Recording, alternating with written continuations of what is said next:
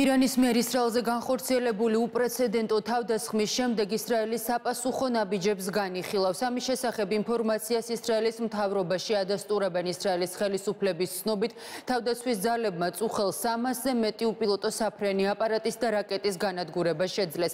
თეირანი კი აფრთხილებს ისრაელს და მის მოკავშირეებს, რომ მის ინტერესებზე განმეორებითი თავდასხმის შემთხვევაში ირანის ისლამური რესპუბლიკა კიდევ უფრო მასშტაბური ქმედებებისათვის არის მზად.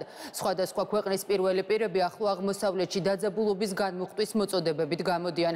დღესვე ირანის ოპერაციის შესახებ დიდი შვიდეულის ლიდერები იმსჯელებენ დაგეგმილია გაეროს უშიშროების საბჭოს ხდომაც. ის რეგიონია, სადაც ისრაელის ცნობით გუშინ ღამით ირანიდან ნასროლი რაკეტის ნამსხვრევი ჩამოვარდა.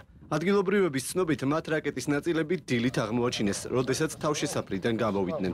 ისრაელის მთავრობა აცხადებს, რომ ირანის თავდასხმის შედეგად 7 წლის გოგონა დაშავდა, რომლის სახსაც ჩამოგდებული რაკეტის ნამსხვრევები მოხდა. მას ოპერაცია უტარდება. რაკეტა ჩამოვარდა და ბევრი რაკეტა გაისროლეს. ერთ-ერთი ჩამოვარდა, სწორედ ასე მოხდა ყველაფერი. ეს იყო ღამის 2-ის ნახევარზე. ბავშვები თავშესაფარში გადავიყვანეთ. მე აქ დავრჩი. ისრაელის თავდაცვის ძალების ცნობით ირანმა ისრაელის ტერიტორიის მიმართულებით სულ გასული ღამით 300-ზე მეტი დრონი და რაკეტა გაუშვა, რომელთა 99% განადგურებულია. მათი ნაწილი ისრაელის თავდაცვის ძალებმა ჩამოაგდეს, ნაწილი კი ისრაელის მოკავშირეების დახმარებით გაანადგურეს. ამერიკის პრეზიდენტმა ჯო ბაიდენმა უკვე დაადასტურა, რომ ირანული დრონებისა და რაკეტების განადგურებაში წვლილი ამერიკულმა ძალებმა შეიტანეს. ისრაელის თავდაცვის ოპერაციაში მონაწილეობდა ასევე დიდი ბრიტანეთი და საფრანგეთი. ბოლო წლებისა და განსაკუთრებით ბოლო კვირების განმავლობაში ისრაელის მოქალაქეები ისრაელი ემზადებოდა ირანიდან შესაძლო პირდაპირ თავდასხმისთვის. ჩვენი თავდაცვის სისტემები განლაგებულია და მზად ვართ ნებისმიერი სცენარისთვის, როგორც თავდაცვისთვის, ასევე შეტევისთვის. ისრაელის სახელმწიფო ძლიერია, ისრაელის თავდაცვის ძალები ძლიერია. ირანის მიერ ღამით ისრაელის მიმართულებით გაშვებული 300 სხვადასხვა სახის დრონებისა და რაკეტების 99% საჰაერო თავდაცვამ შეაჩერა. ეს არის ძალიან მნიშვნელოვანი სტრატეგიული მიღწევა. ირანის ქმედება ახლო აღმოსავლეთს ესკალაციისკენ უბიძგებს. ჩვენ ვაკეთებთ და გავაკეთებთ ყველაფერს, რაც საჭიროა ისრაელის მოქალაქეების დასაცავად. ბრიტანეთის სამეფო საჰაერო ძალებმა რეგიონში დამატებითი ძალები გააგზავნეს იმ ოპერაციის ფარგლებში, რომელიც სირიასა და ერაყში ტერორისტული დაჯგუფება ისლამური სახელმწიფოს წინააღმდეგაა მიმართული. მე შემიძლია დავადასტურო, რომ ჩვენმა თვითფრინავებმა ჩამოაგდეს რამდენიმე ირანული დრონი.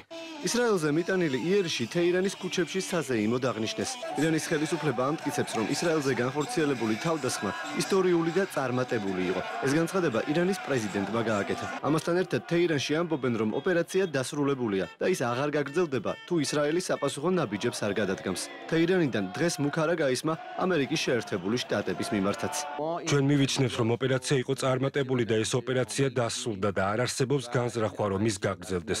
მაგრამ თუ სიონისტური რეჟიმი გადადგამს რაიმე ნაბიჯს ირანის ისლამური რესპუბლიკის წინააღმდეგ, ან ირანის მიწაზე ან ჩვენს ცენტრებზე სირიაში ან სხვაგან, მაშინ ჩვენი შემდეგი ოპერაცია გაცილებით უფრო დიდი იქნება.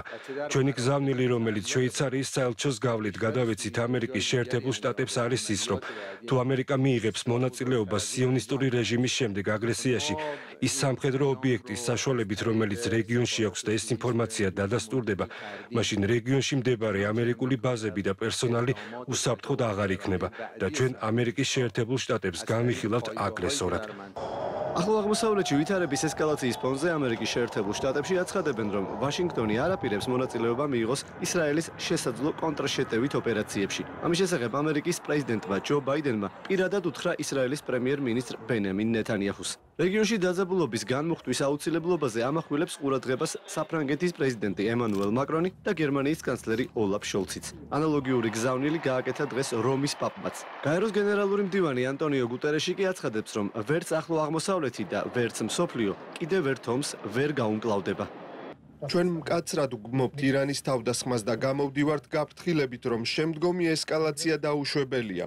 ირანმა ამ გზით სიარული არ უნდა გააგრძელოს. ამასთან ცხადია, რომ ისრაელის მიმართ სოლიდარულები ვართ, რომელსაც თავდაცვის უფლება აქვს. მე ვლოცლობ და შეშფოთებული ვარ ტკივილსაც კი გამიცდი. იმ ახალი ამბების გამო რაც ბოლო საათებში ისრაელში სიტუაციის გაუარესებას უკავშირდება ირანის მხრიდან ინტერვენციის გამო.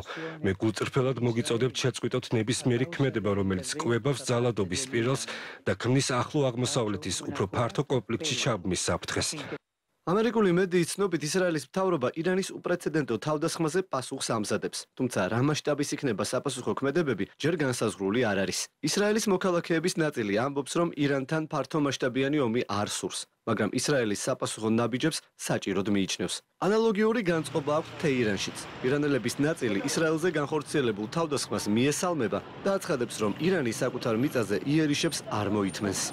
ნამდვილად მაქვს იმედი, რომ დიდი ომი არ იქნება. არც ერთ ისრაელელს არ სურს დიდი ომი. იმედი მაქვს ირანი გაჩერდება. მე წარმომიდგენია, რომ ისრაელი უპასუხებს. მთელი ისრაელი დაფარა დრონებმა და რაკეტებმა. ასე რომ რას ვიზამთ, მაგრამ ეს რაღაცნაირად უნდა შეჩერდეს. ეს იყო ძალიან ძალიან კარგი ფაქტი, რომ ირანმა აჩვენა ისრაელს, რომ ირანი იყო და არის ძლიერი. ფიქრობ ისრაელში მიხვდნენ ვისთან აქვს საქმე. ეს შესანიშნავია.